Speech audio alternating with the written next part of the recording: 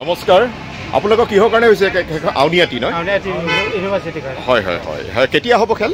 আমাৰ দুহেজাৰ চৌবিছ চনৰ এঘাৰ ফেব্ৰুৱাৰী তাৰিখ। হয় কিন্তু আকৌ বিহুলৈ পিছুৱাব নেকি নাই বিহু নাই, বুলি? সেইটো পি- পিছুৱা নহ'ব। আপোনালোকে পিছুৱাওক এবছৰ পাছতো কৰক। একো নাই। খালি খেলখন হ'ব। খেলখন যাতে কোনো বিঘিনি নঘটে। সেইটো কৰিব। দেই। সেইটো সিমানটোৱে আমাৰ ৰিকুৱেষ্ট।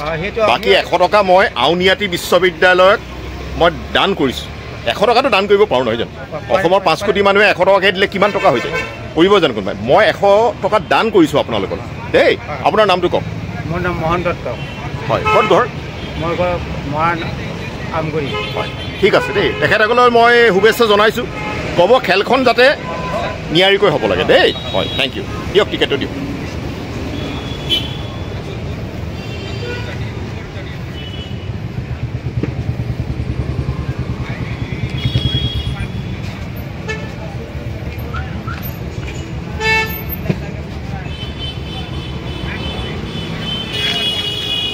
আপোনালোকৰ দহ লাখ মানুহেতো গম পাব। মই এইটো আমাৰ চেনেলত দিম। গোটেই পৃথিৱীতে আমেৰিকাতো গম পাব। দেই। হয়। আউনীআটী বিশ্ববিদ্যালয়ৰ সকলোৱে টিকেট কিনক। দেই। খেলখন পাতক খালি ভালকৈ। মই এশ টকা দান কৰিছোঁ আপোনালোকলৈ। দেই। ধন্যবাদ। কৃষ্ণ।